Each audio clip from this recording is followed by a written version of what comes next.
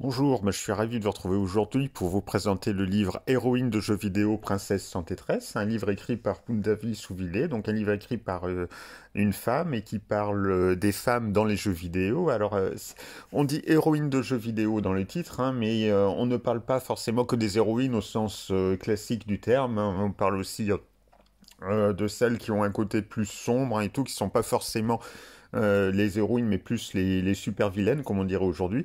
Et on remonte le temps, puisqu'on parle de la place euh, des femmes dans les jeux vidéo depuis 1982 jusqu'à nos jours, hein, donc plus de 40 ans de jeux vidéo, avec une préface de Yann Leroux. Alors Yann Leroux, c'est un psychologue, psychanalyste euh, très réputé, hein, qui est aussi gamer, et qui du coup s'est spécialisé dans les, les critiques sur les jeux vidéo, voilà, du point de vue euh, psychanalyste, donc c'est très intéressant d'avoir son avis. Alors qu'est-ce qu'on peut remarquer?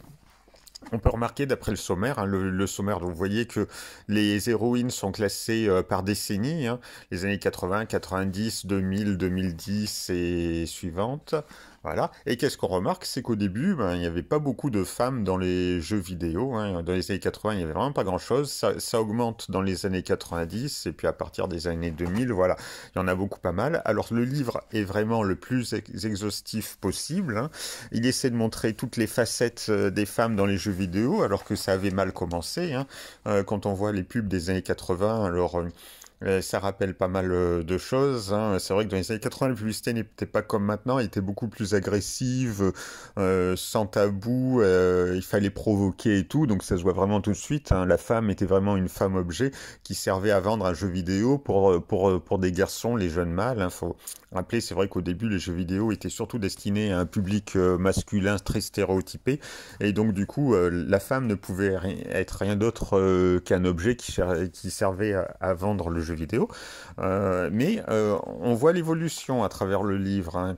on nous parle vraiment, on nous montre vraiment tout un tas de profils différents avec euh, des personnages auxquels on, s'attend pas. On quand on parle de personnages très connus aussi, on reparle vraiment de toute leur vie, hein, comme avec Pinch, on essaie de montrer son évolution, hein, comment elle est devenue de passer de simple princesse euh, à sauver, euh, simple blondasse comme on dirait, euh, qui sert pas à grand chose, à un personnage beaucoup plus intéressant qui n'est pas une, faible femme.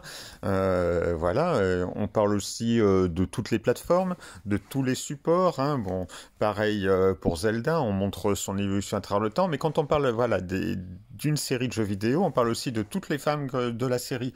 Hein, par exemple, dans Zelda, on parle aussi des autres figures féminines et des choses surprenantes comme Epona. Epona et Nevi sont aussi des figures féminines qui ont une symbolique et tout. Euh, donc euh, ça fait pas mal réfléchir. Hein. Les illustrations euh, sont magnifiques. Hein. Rien n'est oublié. On, parle même de très vieux jeux qui n'ont pas forcément marqué les esprits. et vraiment, on essaie d'être le plus large possible et de montrer toutes les facettes des personnages féminins. Alors les jeux vidéo de combat sont très bien représentés. Hein. C'est sûr qu'il y a beaucoup de personnages féminins. On commence par Street Fighter, mais il y a un peu toutes les grandes séries euh, de jeux vidéo. Hein, c'est vous connaissez, euh, avec bien sûr euh, Morrigan de Darkstalkers, qui apparaît aussi dans très nombreux autres jeux, pas que des jeux de combat. Hein, les jeux de rôle euh, japonais aussi, euh, où il y a beaucoup de personnages féminins, euh, mais Final Fantasy aussi, on apprend beaucoup de choses sur tous ces jeux. Hein, des, jeux qui ont Dreamcast aussi et tout. Alors c'est vrai que pour maintenant, la Dreamcast, ça veut pas dire grand-chose. On revient sur les anciennes consoles, quel a été le rôle sur le rôle sur la place des femmes et tout. Et voilà, c'est vraiment super passionnant. On apprend plein de choses. Alors c'est vrai que quand on voit les images, on se rend compte que les femmes sont toujours représentées la plupart du temps avec des tenues assez sexy hein, au début. Euh, c'est vrai que le lien entre le sexe et jeux vidéo sont assez étroits, et bien plus étroits qu'on le pense. Hein. D'ailleurs, euh, si vous regardez la section euh, qui concerne Silent Hill, et que vous vous demandez pourquoi les infirmières ont ce look-là, ben, c'est expliqué dedans, et c'est vraiment assez surprenant. On s'y attendait pas à ce que ça soit vraiment pour ça, mais bon, je vous laisse découvrir. Donc bien sûr, toutes les grandes séries de jeux vidéo sont représentées mais pas que. Hein. Euh, bon, on, montre aussi, moi, Etna, c'est l'un de mes personnages favoris, hein, vraiment. Si vous n'avez pas joué à Disgaea, euh, je vous recommande fortement cette série. Vous comprendrez pourquoi Etna est un personnage si particulier, et ce n'est pas euh, la femme telle qu'on la voit dans les jeux vidéo, telle qu'on la voit encore dans les jeux vidéo. Bien sûr, il y a Warcraft, vous voyez, c'est vraiment très exhaustif. Il y a aussi des personnages moins connus, mais c'est pas grave. Hein, on essaie vraiment de, c'est ce que j'aime bien dans ce livre, hein. c'est quand on, tombe sur des surprises comme Mama de Cooking Mama, il y a les jeux Pokémon aussi sont évoqués parce qu'il y a quand même pas mal de femmes, à commencer par Ondine dans les jeux Pokémon et qu'on retrouve pas que dans les jeux vidéo mais aussi dans les jeux de cartes.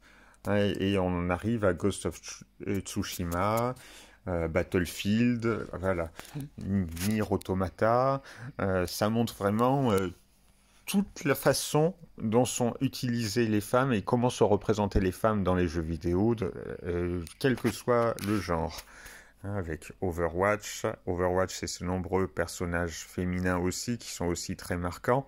Voilà, il y a de tout, de tous les âges, de tous les types, euh, de tous les genres, de tous les allures. Quand on pense à, Marie, Marie est aussi une figure féminine alors qu'en fait Marie n'est pas un être humain. Voilà, euh, c'est vraiment très intéressant. Ça donne vraiment une vision la plus large possible de la représentation et de la place de la femme dans le monde des jeux vidéo, euh, mais pas que, puisque aussi euh, on le trouve aussi en animé, dans d'autres jeux, des jeux de cartes et tout. Donc ça va bien au-delà. C'est vraiment devenu un phénomène culturel, pop, geek. Et ce livre permet de retracer un peu une évolution avec une analyse quand même assez approfondi, euh, des textes euh, agréables à lire. Hein. Vous voyez que c'est quand même assez écrit, assez gros et espacé. Il y a pas mal euh, d'images anciennes ou récentes, des jaquettes de jeux vidéo, euh, des artworks, des images tirées du jeu, euh, les pubs des années 80. C'est vraiment très complet, c'est vraiment euh, génial. Je recommande fortement ce livre hein, si vous voulez améliorer votre culture sur les jeux vidéo. Et le constat qui est fait, ben, même si on remarque quand même que la femme a évolué dans les jeux vidéo.